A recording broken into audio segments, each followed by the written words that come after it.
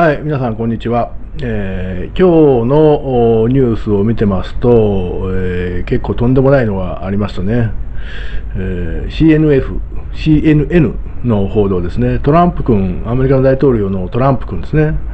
トランプ君があの中国の習近平さんと電話で会談した際に、え、米中間の貿易交渉が進展すれば、あ香港問題については黙り続けるということをおっしゃったとか。しかし、このトランプっていうおっさんはとんでもないやつですね、本当に。あ まあ、そもそも政治家じゃないんで、そういうことをおっしゃるんでしょうけども、これとんでもないことなんですよ。どう言いましょうね、こう自分たちの貿易がうまくいくようなシステムにするんだったら、お前悪いことしてるの黙っててやるっていうことなんですね。見逃してやるっていうことなんですね。アメリカって自由と民主主義を標榜してて、それを世界に広めることをまあ一つの使命にしてる国なんですよね。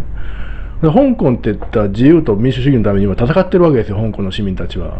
それをね、あの簡単に貿易で うまくいくんだったら、あの黙ってるよって言ってるわけになんで。まあそれは本音としてはね、あっても全然叱るべきだし、今までのアメリカの歴史を見てると、そういうこといっぱいややらかしてるわけですよ。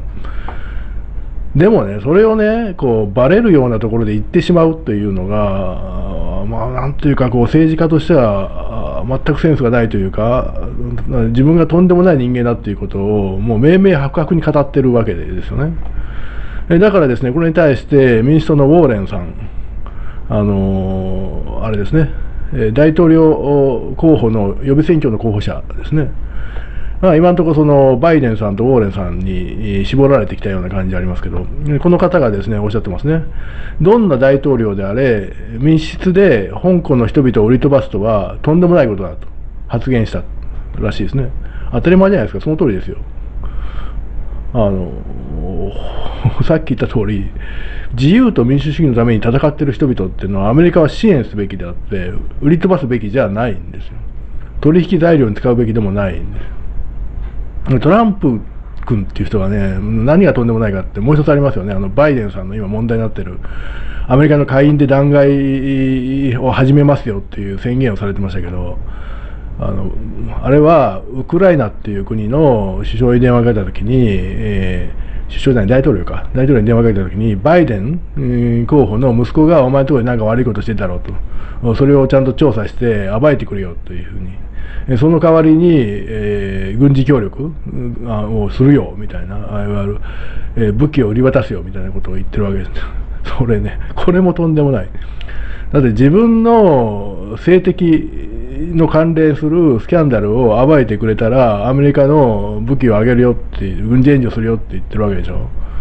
てめえの選挙にアメリカという国を利用すんなよっていう世界ですよね。だから弾劾するんだって言ってて。あのそれが事実ならもう全く弾劾に値する行為なんですよ。だからやるべきなんですけども、まあ、アメリカの国のシステム上、下院で弾劾決議しても、上院で3分の2取らなきゃいけないわけでして、下院は今、民主党は過半数なんで、多分弾劾決議やっちゃうと思うんですけど、上院はね、共和党が多いんで、まあ、何人かは裏切るでしょうけども、でも、まあ、トランプ弾劾とかって大変なことになるんで、反対者の方が多いというか、まあ、3分の2には達しないんじゃないかなと思われます。ただし、このトランプ君の一連の行為っていうのは、もうアメリカの大統領としては、あるまじき倫理に反するハレンチな行為であると言わざるを得ませんね。で、今、ここでこう喋る前に、ヤフーのニュースにまた入ってきたんですけども、読売新聞ですね。えー、行政長官に立法会、各議会の承認なくさまざまな規制、規則を、えー、制定する権限を与える緊急状況規則条例を発動すると発表した。これに基づき抗議運動に参加する際、マスクなどで顔を隠すことを禁止する覆面禁止条例を5日から施行する。あのまあ、簡単に言や、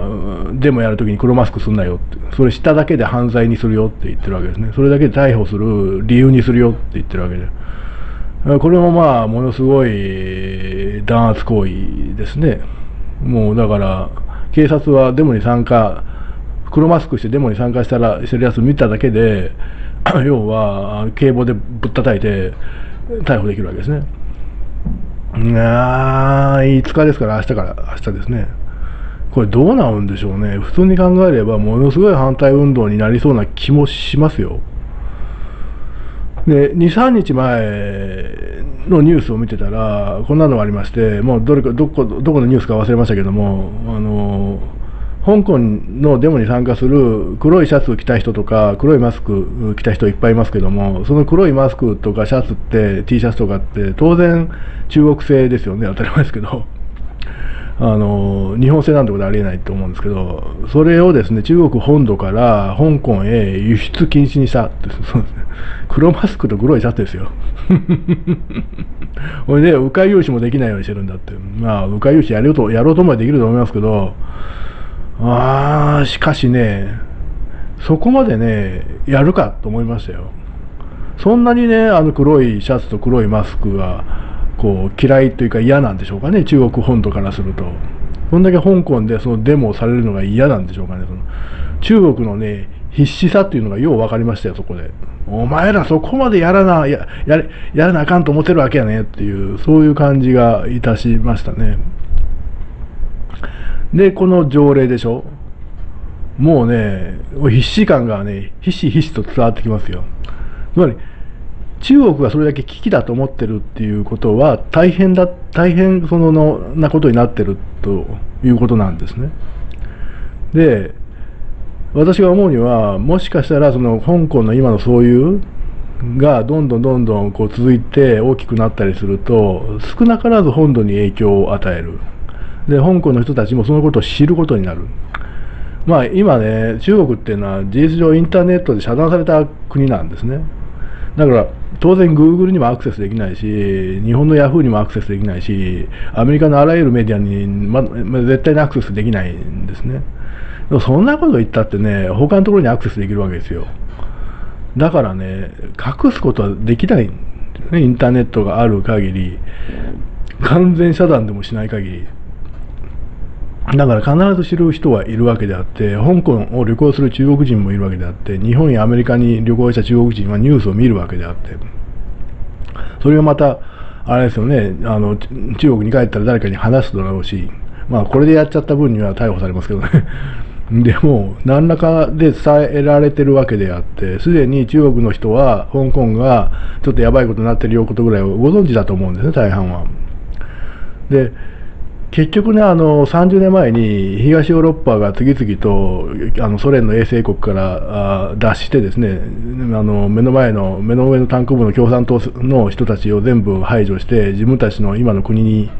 に立ち返って本当の独立を取り返したのはあれはなぜかというともちろんあの時は今よりもすごい情報を遮断してたんですけどもそれでも漏れ伝わってくるわけなんですよ西側は今こうなってるとか。他の国で隣のもポーランドでどうなってるとかハンガリーでどうなってるとかって。それがどんどんどんどん雪だるま式にふあの大きくなっていって最後はもう当局もどうしようもなくなったわけですね。だからもう東方のあの共産党体制って瓦解したわけです。結局ね情報なんですよ。外の情報。それで人々の気持ちはどんどん変わっていって僕らもこんなことじゃダメだってなって。えー、あの体制を覆そうという動きになるわけです。だからトランプ君はね、アメリカの大統領として、そういう動きを支援しなきゃいけないんです。まあ、中国側からすると、反乱をアメリカが援助してるっていうになるんですけど、まあ、そんな構えはしません、そんなことは。あのどんどんやればいいあの。トランプ君のアメリカの今の最終目標は、中国共産党が支配する中国は敵ですからね、そういうふうに宣言してしますから。その別の言い方をすると、中国共産党が支配してない中国は、もしかしたら自分たちの友好国になるかもしれないと、そういう裏返しの言い方なんですね。だからね、トランプ君はそんなね、こうケチな取引をしてる場合じゃないよ、お前なっていう、本当にその通りで、